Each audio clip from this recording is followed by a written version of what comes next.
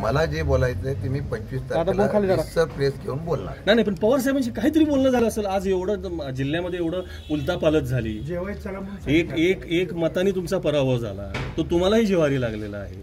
काहीतरी बोलणं झालं असेल साहेब. निवडणुकीत पराभव हार जीत होतात ते तुमची समजूत काढली? कोणाची माझी समजूत नेहमीच पवार साहेब काढत असतात आणि पवार साहेबांचा आशीर्वाद आहे म्हणून मी आहे. त्यामुळे काय नाही तसं काय नाही. विचारलं फक्त कशा प्रकारचं निवडणूक काय नाही. कसं काय झालं ते. तुम्ही मगाशी सांगितलं होतं षडयंत्र तुम्ही बोलला होता. तर ते जे नेमकं षडयंत्र ते पवार साहेबांना सांगितलं का तुम्ही? मी जे 25 षडयंत्र होतं. तारखेला त्याच्यावर नाही पण बोलणार. षडयंत्र बोलला का साहेबांना? पराभवावर शिवेंद्रराजेंनी डान्स केला तिकडे. कुठं?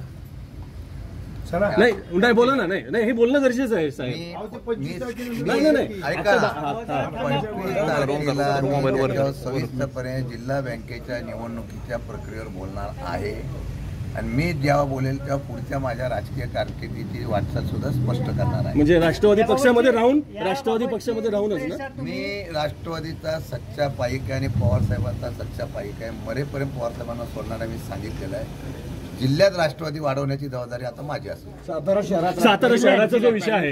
हा. सातारा नगरपालिकेच्या संदर्भामध्ये तुम्ही आणि दीपक पवार एकत्र भेटला. हा. सातारा नगरपालिकेमध्ये राष्ट्रवादी काँग्रेसचं काय? जिल्ह्यातच राष्ट्रवादी मोठी करायचा असा विचार आहे. सातारा नगरपालिकेत सातारा नगरपालिकेचा विषय आम्हाला स्पेसिफिक सांगा. मी सगळंच सांगितलं. जावली सातारा आता सगळीकडे. मी आता मोकळाच आहे ना. त्यामुळे आता सगळीकडे लक्ष घालणार म्हणजे होकार पक्ष- दिलाय का त्या संदर्भामध्ये? या पवार बाबतीत साहेबांनी- कुठलीही चर्चा झाली नाही. यांनी प्रश्न विचारला तुम्ही लक्ष घालणार का? तर मी घालणार आहे. बरं बरं.